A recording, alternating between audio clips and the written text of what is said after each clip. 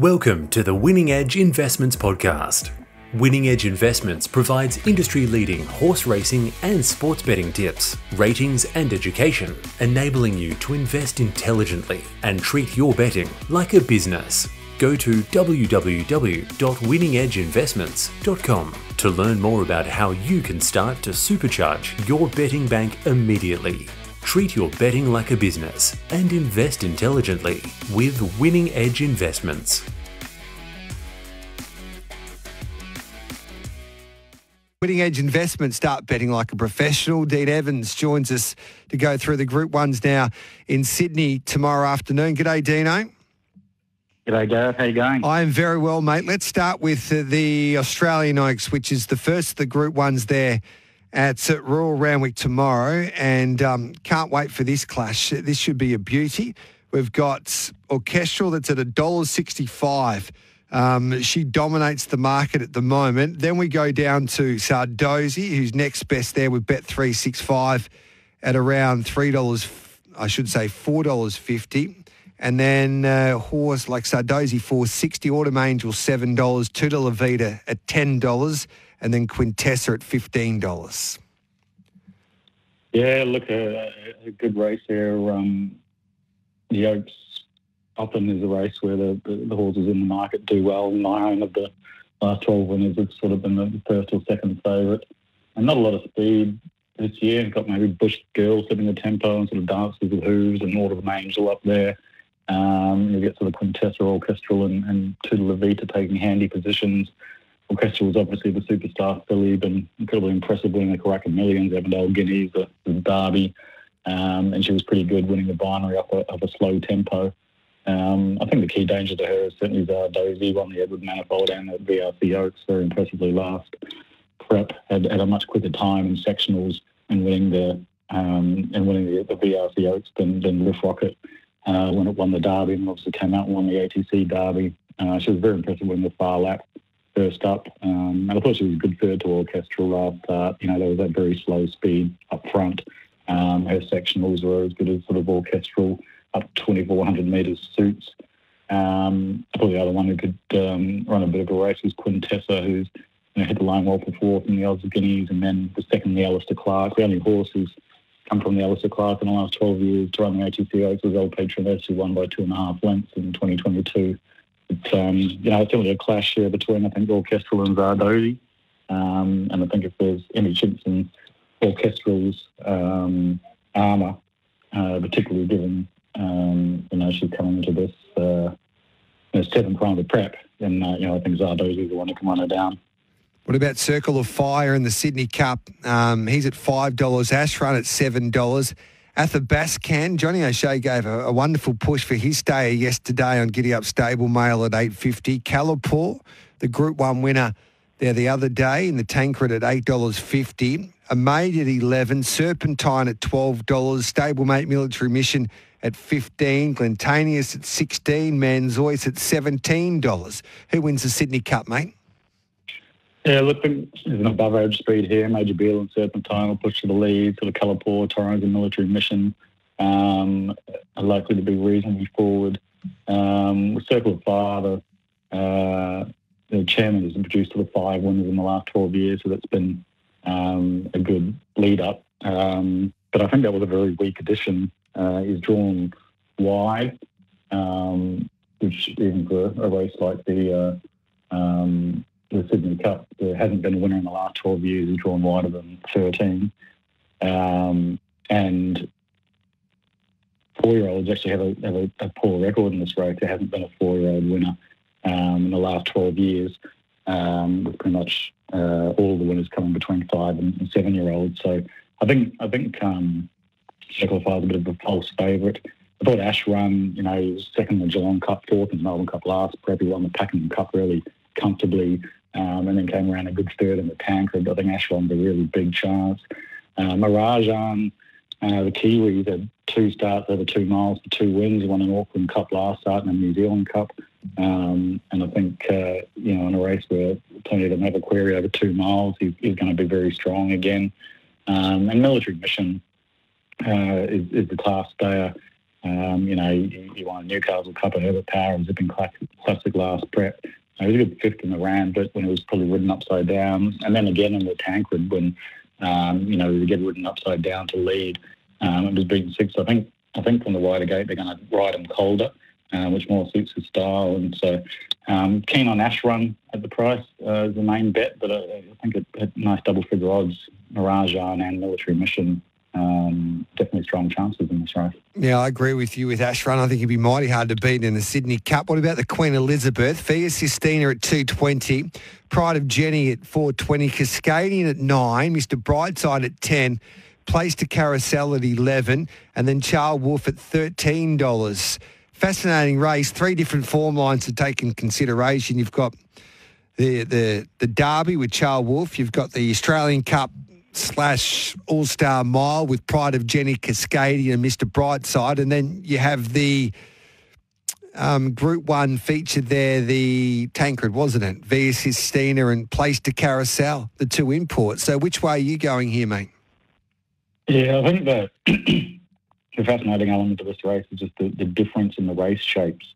Um, the the the All Star Mile and the Australian Cup that you know, Cascadian and Mr. Brightside, Pride of Jenny all came out of. They ran 21 lengths um, quicker than standard for the first sectional in the uh, in the All Star Mile, and 15 lengths quicker than standard for the, the first half um, in the Australian Cup. And overall, they ran plus 17.5 and plus six for those two races. Um, conversely, the, the, horses coming out of the Randwick uh, via Sistina and Place du Carrousel, they ran 27 lengths lower than standard mm. for the first half um, and then seven lengths quicker than standard for the second half. But they were minus 19 lengths overall that time to standard um, in the Randwick. So you've got this horse, you know, Via Sistina, who was a very impressive one, pretty much untouched.